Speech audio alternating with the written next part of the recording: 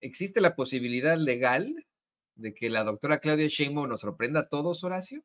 y disuelva incluso eh, a la Cámara, no a la Cámara, a la, Suprema Corte de Justicia de la Nación. Que diga, ¿saben qué?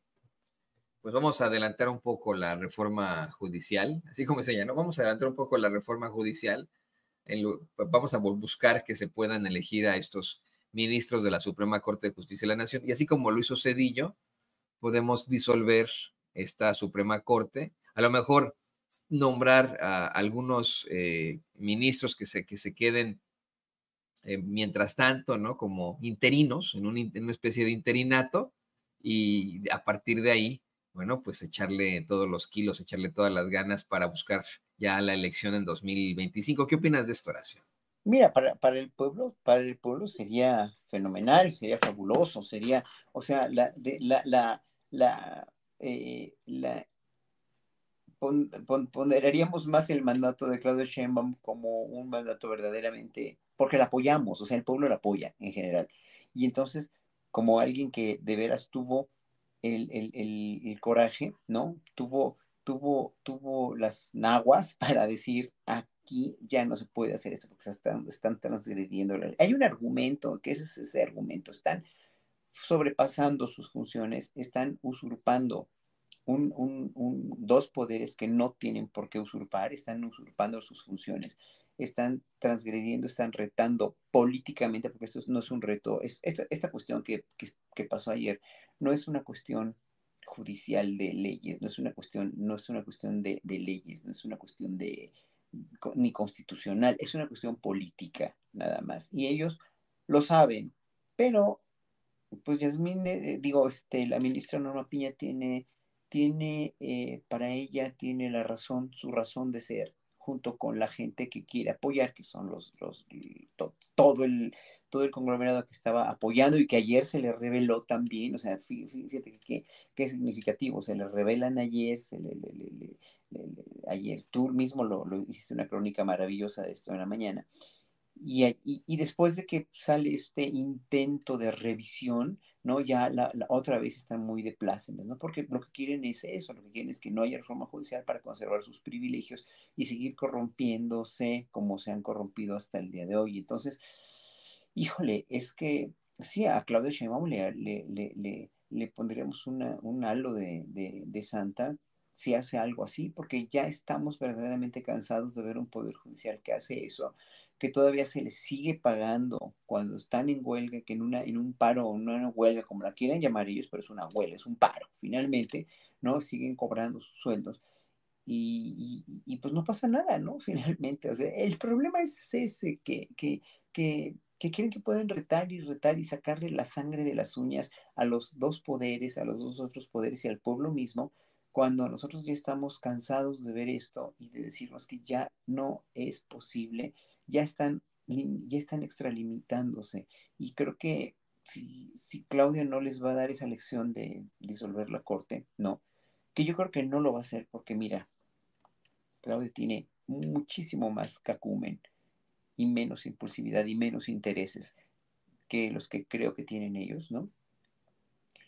Y, y, va a tener, va a decir hoy, va a llamar a la cordura, va a llamar a la paciencia, y, vamos a ver cómo, cómo funciona esto. Pero lo que quisiéramos nosotros, el pueblo, lo que quisiéramos la mayoría, es que dijera, bueno, ya a disolverlo, a disolverlo, cedillazo, sí, cómo no. Y eso no es ser una dictadora, eso es precisamente preservar la constitución. ¿Por qué?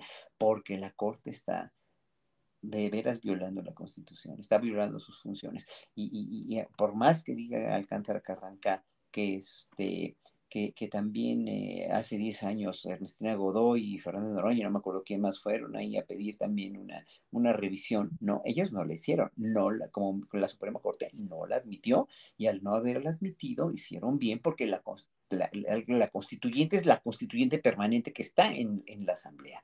Esa es la constituyente. Ellos no son constituyentes. Ellos son un poder constituido que tiene que preservar es el árbitro, no es el poder constituyente. Ellos no pueden tener una sola injerencia en cómo redactar una constitución o cómo modificar un artículo. Ellos solamente son los salvaguardadores, los que van a, salvaguardar la constitución, no los que van a imponer cómo se tiene que redactar un artículo, una ley o una reforma.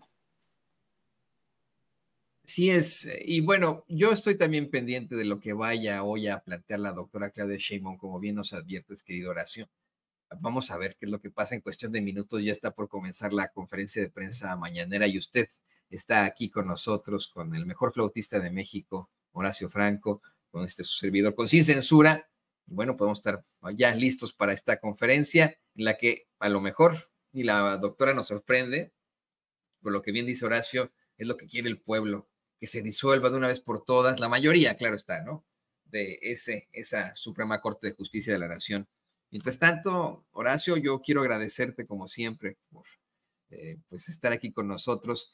Fíjese que Horacio, usted no lo sabe, nos ve desde tempranito, él estudia desde la madrugada y nos sintoniza desde justo las 6 de la mañana hora del centro de México, 7 de la mañana hora del centro de los Estados Unidos. Desde temprano nos está viendo y escuchando y pues ahora también está participando con nosotros también temprano, porque las mañaneras se extienden un media hora más, ¿no? De lo que era, de lo que se planteaban en estricto sentido con el presidente López Obrador, son ya media hora adelante. Tenemos tiempo de poder invitar al buen Horacio. Y te pido, Horacio, que por favor nos, nos compartas tus redes sociales para que la gente se ponga en contacto contigo, Claro que sí, Horacio Franco, flautista en Facebook e Instagram y Horacio Franco en Twitter o X. Y por cierto, que qué mañaneras, Toño, qué mañaneras. Son mañaneras implacables, ejecutivas. Mira, yo adoraba las mañaneras de Andrés Manuel López Obrador, sí las adoraba, pero estas me quedo, me quedo boquiabierto. ¿Cuántos periodistas preguntan? ¿Cuánta acción, interacción hay? Y, y, pues sí, muy sintética, ¿no? Pero también muy humana con todo lo que puso cada día, todos los aspectos que se van a abarcar cada día. Este, lo de las mujeres ayer me encantó, verdaderamente me, me, me trastocó el alma de una manera inmensa, intensa, y pues obviamente contesta y contesta ejecutivamente. Así va a ser el mandato de Claudio Sheinbaum, un mandato eficiente y muy ejecutivo. Científico, científico, así, ¿no? Así es. Pues eh, Horacio, disfrutemos de la mañana que va a comenzar en cuestión de minutos.